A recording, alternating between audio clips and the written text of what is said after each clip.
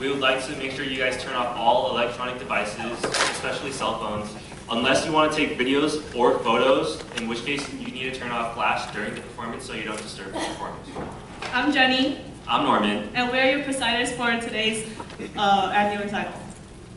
Now we would like to introduce our special guest. First, we have Diamond Bar City Mayor Pro Tem, Mr. Jimmy Lim. Walnut School District Board Member, Dr. Tony Torng. Assemblywoman Mindy State Representative, Ms. Tara Campbell.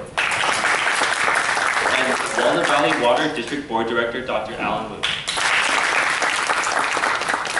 Now we will begin with Ashley Dixon, Dayna Nguyen play Sonata, Sonatina no, no, number 19 by Spindler.